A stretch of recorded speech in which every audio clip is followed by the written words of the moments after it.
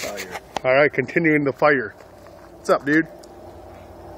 Uncle Freddy. Uncle Freddy brought me a macanudo. A macanudo. That's how we do though. Charuto. Charuto. Já temos uns, uns charutos. Temos Brady aí. And now we're doing the reconstruction. Reconstruction. Got my pickaxe. Got the remnants of the garden here.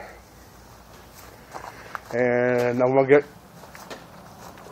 I gotta get me a plastic uh, trash can, put some holes in the bottom, get some red worms, turn this into compost.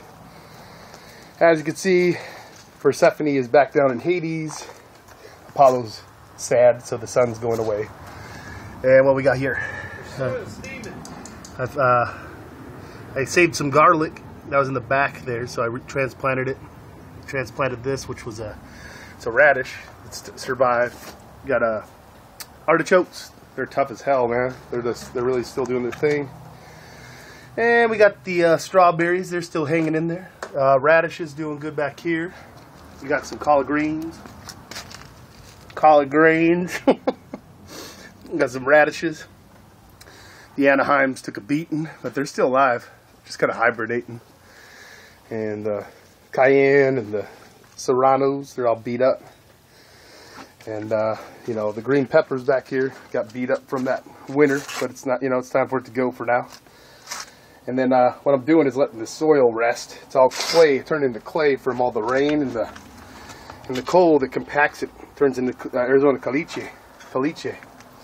So as you can see, let me give you a view from this area here. The, you see the tomatoes are gone and everything. Peppers are going to come back, and then uh, you know everything else is a little fried, which is how it goes. And uh, you know I'm going to go ahead and expand the garden all the way out here. So basically all this will be rested earth. Tomorrow I'm going to actually pickaxe this and move them rocks out. Maybe move some uh, gypsum in there so that it kind of aerates the soil. That's the last uh, session of Gringo Bill for this season, and I'm shaking like a mug on this camera. I hope you enjoyed all the flicks. I'll go ahead and put something up that shows a time lapse with all the pictures from beginning to end of this season. All right, have a good one. Take care.